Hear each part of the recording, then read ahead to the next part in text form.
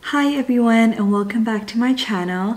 Today's video is going to be about Chinese New Year. It is currently Chinese New Year's Eve right now and I have a lot of eggs with me because I'm going to be making a dish. It's called three colored egg. I'm going to separate the egg whites and the yolk.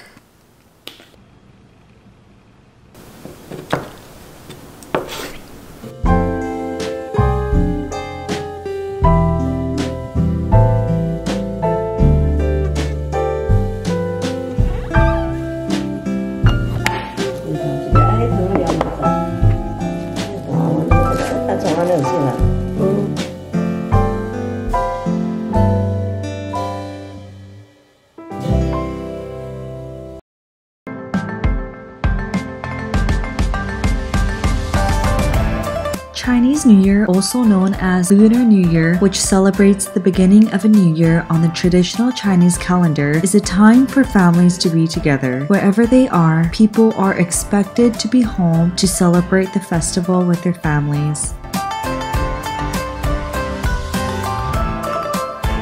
My grandparents woke up bright and early to start prepping for the dinner of Chinese New Year's Eve, as it is the most important meal throughout the entire year.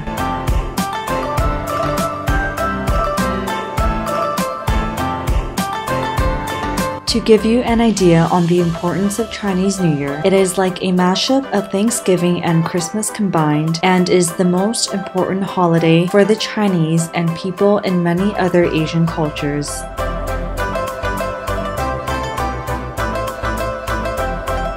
Remembering and showing respect for our ancestors is a vital part of Chinese New Year. Here, my grandma has placed food and burned incense on home altars devoted to those who had passed on. Although I don't know much about these traditional practices, I'm doing my best by following my grandma's footsteps.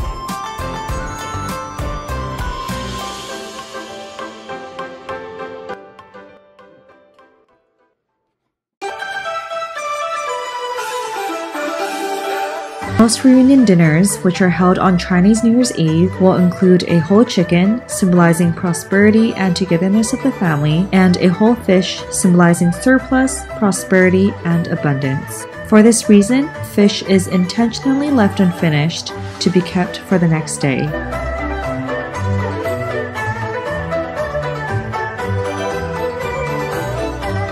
Having been born and raised in Canada, I haven't had many opportunities to celebrate Chinese New Year in Taiwan. And I'm just feeling so lucky to be here, feeling so grateful to be surrounded by so many relatives and loved ones in this special holiday season.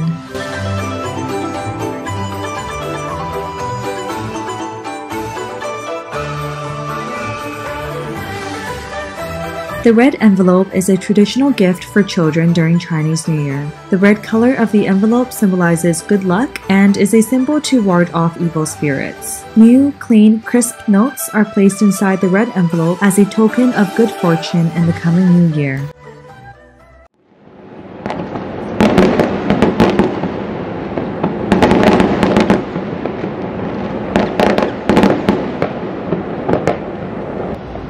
Fireworks are set off at the stroke of midnight to scare away evil spirits and celebrate the coming of the new year.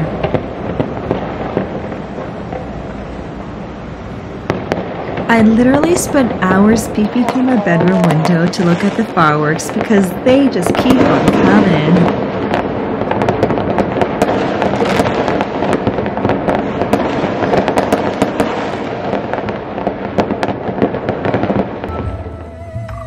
My family and I woke up at 4:30 to visit the temple early morning of Chinese New Year. Worshipping in temples is one of the many important traditions on Lunar New Year in Taiwan because it is said to bring good luck for the whole year ahead.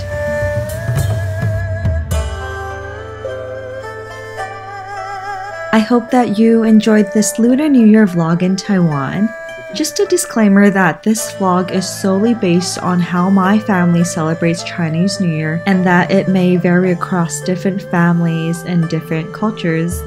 A very happy new year to you all, wishing you a year ahead filled with lots of love, abundance, and happiness. I'll see you all next time.